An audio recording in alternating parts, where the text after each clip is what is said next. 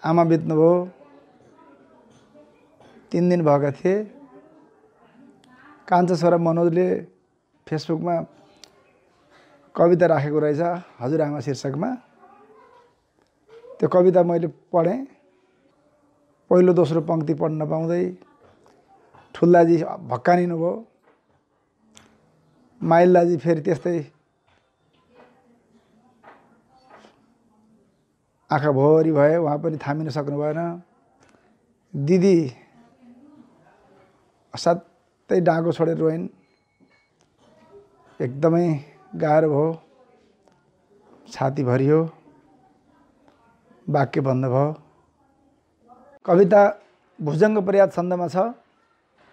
हजुरआमा शीर्षक हिजोसम्म तिम्रै थियो छत्र छाया लग्यो निष्ठुरीले चुडाएर माया टुटेको छ आफ्नाहरूबाट नाता। सरापु तलाई कसोरी विधाता म जान्थेँ बिहानै गई ढोग गर्थेँ। फिर्यौ बाबु भन्दा फुली मख पर्थेँ। म पाऊँ कहाँ फुल झैँ स्निग्ध पाऊ। जल्यो देह छाती कतै दुख्छ घाउ। तिमीबाट छुट्दा सधैँ छटपटिन्थे। र फर्की तिनै काखमा लुटपुटिन्थे।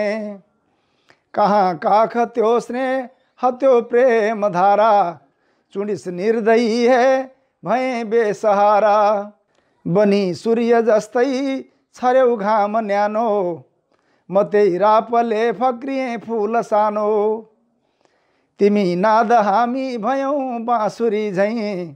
तिमी जुन हामी थियौँ जुन किरी झैँ। तिमी ओइलियौ मात्र रोइरहेम।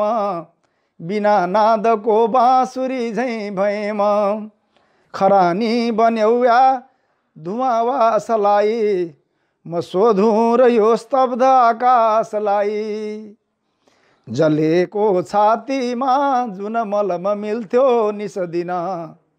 उसैलाई पोल्दा हृदय चुडियो हेर्न सकिन।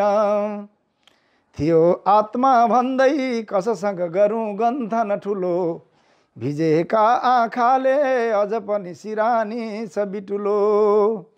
भिजेका आँखाले अझ पनि सिरानी छ बिटुलो। भिजेका आँखाले अझ पनि सिरानी छ बिटुलो।